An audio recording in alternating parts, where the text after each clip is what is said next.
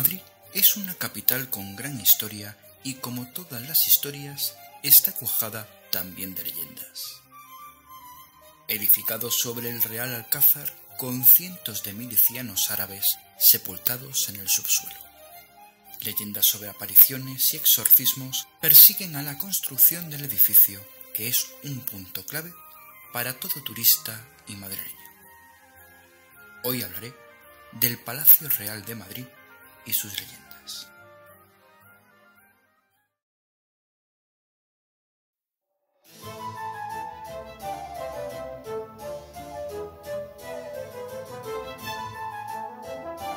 El Palacio Real de Madrid fue la residencia oficial de Su Majestad el Rey de España, pese a que ni el rey ni ningún miembro de la familia real tengan en él su residencia habitual desde el año 1931 con la proclamación de la Segunda República.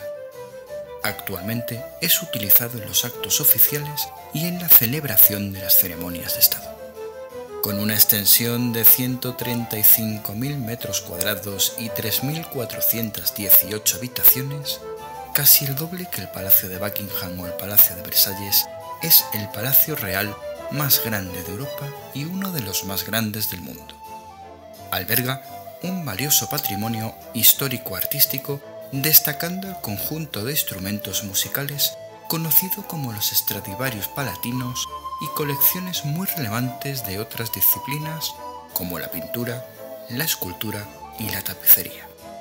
Las salas de estado y las colecciones artísticas están abiertas a las visitas siempre que no haya actos oficiales.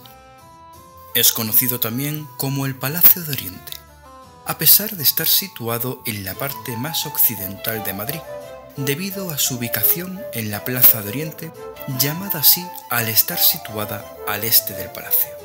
A eje con el palacio y enfrentado se encuentra al otro extremo de la plaza el Teatro Real. Pero el palacio, por su historia, guarda leyendas de todo tipo como vamos a ver a continuación. Para que os hagáis una idea de cómo es este monumento, voy a resumirlo haciendo una breve historia sobre él.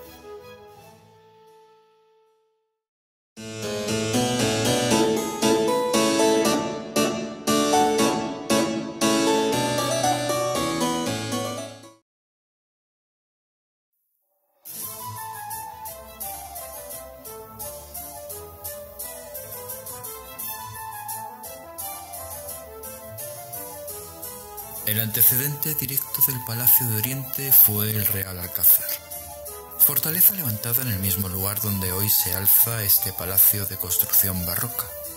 Su estructura fue objeto de varias reformas, sobre todo la fachada, pues el rey Enrique III de Castilla lo convirtió en una de sus más frecuentadas residencias, tras lo cual el recinto obtiene el adjetivo de real.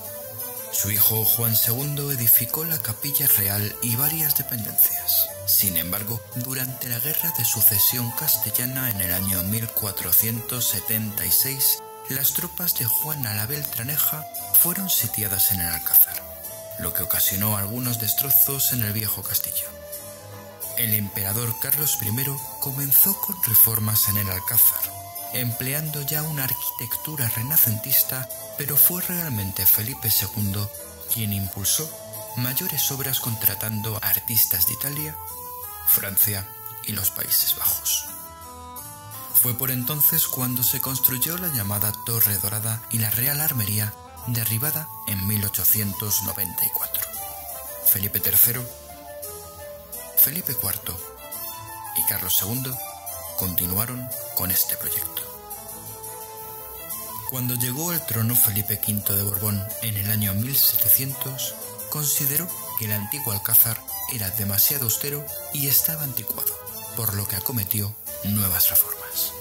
La reina María Luisa Gabriela de Saboya, por su parte, y la princesa de los Ursinos redecoraron las estancias al gusto francés.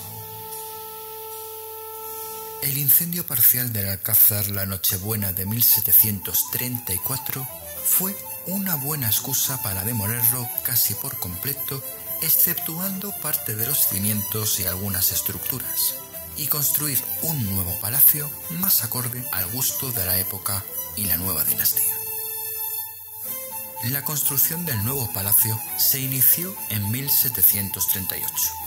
Para evitar futuros incendios, el palacio sería totalmente rehecho, con cubiertas abovedadas, limitando el uso de madera únicamente a carpinterías y estructuras de cubierta.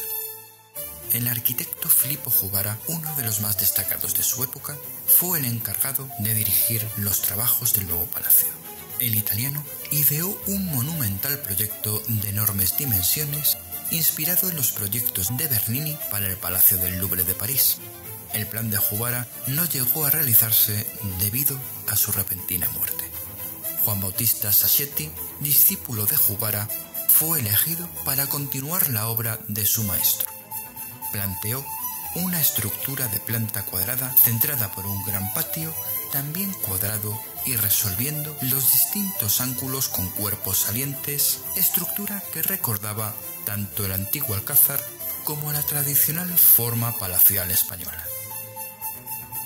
Las obras concluyeron en el reinado de Fernando VI.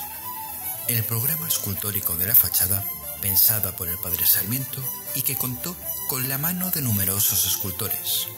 Consistía en la coronación de la balaustrada superior con las estatuas de todos los reyes desde los tiempos de los visigodos, así como la instalación de cuatro emperadores romanos flanqueando la portada principal. El programa de Sarmiento que concebía el palacio como efigie de la España armada y nuevo templo de Salomón fue siendo adaptado sobre la marcha dada la complejidad y el elevado número de esculturas que requería. Felipe de Castro y Juan Domingo Olivieri se encargaron a partir de 1749 de ejecutar la decoración escultórica del palacio, conforme al programa proporcionado por Sarmiento para la serie de 94 reyes de España destinada a coronar la balaustrada Olivier y Castro se sirvieron de un elevado número de escultores que trabajaron bajo su dirección, entre ellos Luis Salvador Carmona y Felipe del Corral, entre otros. Para abaratar los costes, se empleó piedra caliza de colmenar en lugar de mármol y las estatuas se hicieron en dos piezas. En la fachada principal y sobre el balcón se situaron las estatuas de Felipe V y su esposa, María Luisa de Saboya, que empezaron la construcción del palacio, y Fernando VI con Bárbara de Braganza que lo terminaron, cuya ejecución se reservaron Olivier y Castro, correspondiendo a Castro las efigies de los monarcas reinantes. Un segundo conjunto era el situado en el nivel del suelo principal, en el que ya Filippo Jubara había incluido 14 pedestales. Conforme al proyecto de Sarmiento, se incluyeron en él reyes representativos de los reinos de la nación española, incluidos Portugal y América, representada por Moctezuma y Atahualpa, a los que se agregaban los patrones de España y Castilla, Santiago y San Millán. La serie fue adjudicada también a Olivier y Castro en el mismo año 1749 y desmontada con el resto en 1760, aunque algunas de las estatuas han vuelto a su lugar original. Para el frente de la triple portada del mediodía se proyectaron cuatro estatuas colosales de emperadores romanos, de cuya ejecución se encargaron personalmente Olivier y Castro. Arcadio, Trajano, realizadas por Castro, y Teodosio y Honorio, labradas por Olivieri. Sobre el balcón principal se proyectó un relieve de la España armígera, con las figuras de España como matrona armada y Plutón con el cuerno de la abundancia ejecutado por Olivieri, quien también proporcionó el modelo para el relieve del ático de la fachada principal. Carlos III, a la muerte de su hermano en Madrid, abandonó el reino de Nápoles y se instaló en Madrid como nuevo rey de España. La moda que en Italia avanzaba hacia el nuevo clasicismo influyó al rey que decidió retirar en 1760 todas las esculturas de la cornisa que fueron almacenadas hasta que a partir de 1787 comenzaron a distribuirse por distintos jardines y parques españoles.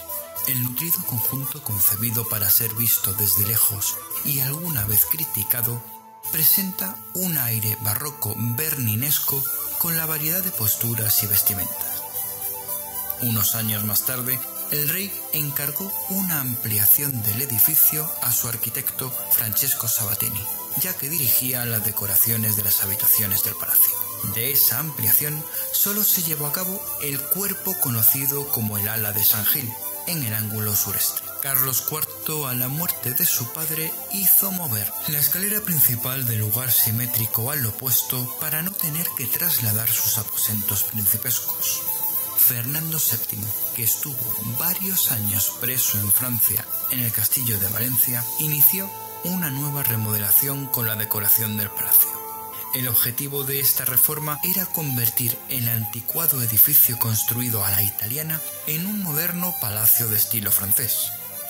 Según las malas lenguas, este cambio decorativo propició la fundación del actual Museo del Prado.